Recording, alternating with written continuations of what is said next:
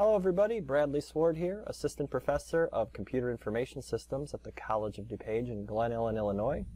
And today we're going to take a look at the binary basics. So we're going to be looking at how binary numbers are represented, and then we're going to take a quick look also at the addition and subtraction of binary numbers.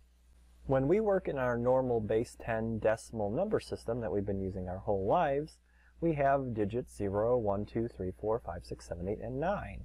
But now you can see we're using binary numbers, and binary is defined as relating to, composed of, or involving two things, according to the dictionary. Two things. So in this case, a binary number, a digit of binary is only represented with one of two possible values, a 0 or a 1. So another thing we do, no matter what the base system, whether it's base 2, base 10, base 16, base 8, base pi, base e, base anything, is that we read the numbers left to right and in such a way that the most significant bit or the most significant digit is to the left hand side and the least significant bit or least significant digit is on the right hand side. Think of every number you've ever looked at you know, a 5 is a 5, but that 5 might mean 500 if it's the third digit from the right, or so forth and so on. So in contrast, when we're talking about the bits themselves, like what is bit 0? What is bit 9? What is bit 15? That reads right to left, as the chart shows you here at the bottom of the slide. So the least significant bit will always be on the right-hand side, and it'll always be bit 0. And the most significant bit will always be on the left-hand side, and in this case, it's bit 15, but in a lot of cases, if we're dealing with 8-bit numbers or 16 or 32, the exact number of the most significant bit will be different. So the main difference between decimal number system and binary number system is the base power in which we're determining each bit of the number. So in a base 10 system, like 512, the 2 in the 512 is the ones bit, the 1 in, is the tens bit, and the 5 is the 500s bit. And that's how you get 500 plus 10 plus 2, 512. And it's the same here in binary, as you can see. Each bit is represented by a power of 2 instead. So I'm just like 2 to the 0th power is the least significant bit, which is 2 to the 0th power is 1.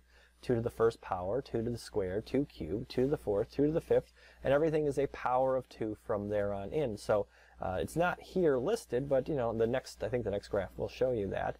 But you know it's like the ones bit, the twos bit, the fours bit, the 8, 16, 32, 64, 128, so forth and so on. Each bit is represented in that manner. So right here, if I'm looking at 1111, 1111, basically an 8-bit number with all bits set, what am I looking at? And we'll see that that actually depends on what am I looking at when I'm talking signed versus unsigned numbers. But we're gonna, if we were starting off with an unsigned number, I mean, it would be just be 2 plus, or 1 plus 2 plus 4 plus 8 plus 16 plus 32 plus 64 plus 128. So in this case, as an unsigned number, this would be positive 255. And as we'll show in a future lecture as well, if this was a negative number, which I can tell if this was an assigned number, this would be negative because the first most significant bit is a 1, then actually this is a negative 1. So it all depends on the context in which we're trying to read the number in front of us. Binary addition is pretty much exactly the same as our decimal counterpart, but it's pretty much much easier. There's no real chart to memorize. There's only four different ways that we can add the numbers together on a bit-by-bit -bit basis. So looking at the left-hand side of the slide, like a 0 plus a 0, of course, is 0. And 1 plus 0 is 1, and then 0 plus 1 is also 1, exactly like normal math. Just gets a little tricky that 1 plus 1, like we're used to being 2, and it is 2, it's just in binary, 2 is 1, 0. So that stupid joke a few slides back makes a little more sense, right, if it didn't already do that.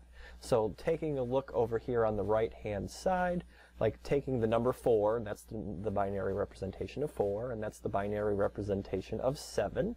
So if I add 4 plus 7 in any base system, the value that I get out of this better be 11, or else my math there's no use to this math because it's incorrect, at least in this case. And all you need is one counterexample to prove that your mathematics is wrong.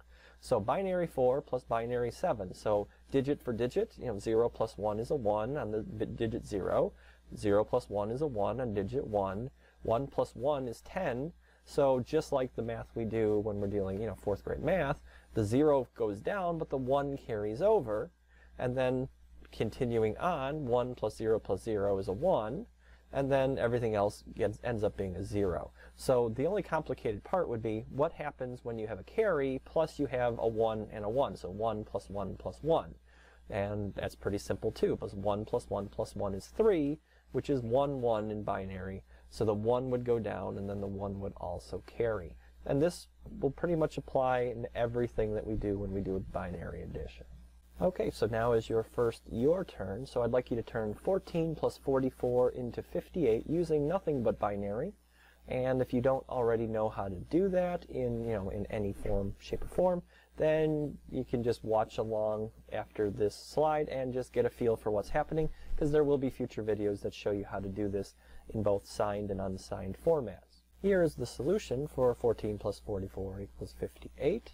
So 14 in binary is 1110. Don't mind the extra leading zeros, just trying to keep everything 8-bit here. So 44 turns into 101100. So again, future videos. So then 14 plus 44, if you do this on a bitwise manner, you better get 58 out of the deal, because base 10, base 2, it doesn't matter. It's the same mathematics. So bit 0, 0 plus 0 is 0. Then 1 plus 0 is 1. 1 plus 1 is 10, which is 0 with a 1 carry. 1 plus 1 plus 1 is 3, which is 1, 1. So 1 goes down and 1 carries over again. 1 plus 0 plus 0 gets me 1.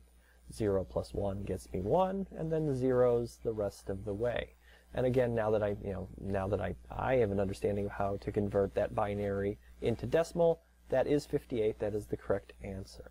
If I can do binary addition, I certainly can also do binary subtraction.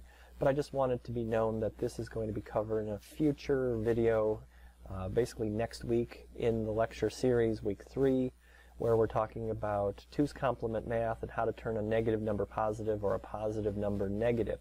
Because in actuality, when we subtract numbers in binary, at least on the CPU, you know, A minus B, we actually turn that B into a negative B, and we add the two together. So it's we do a, we're still doing an addition when we're doing a subtraction. So again, a future video, but I just wanted you guys to know that where that is in the uh, curriculum down the line. So that covers everything I wanted to look at in this binary basics video. So of course, never hold on to your questions. Email me, come into my office, find a way to get a hold of me if you have any questions about this or any other video. And moving forward, now we're going to take a look at converting between binary and decimal numbers in the next the next PowerPoint presentations, and then we'll be taking a look into hexadecimal numbers as well. So thanks for viewing, and we'll see you next time.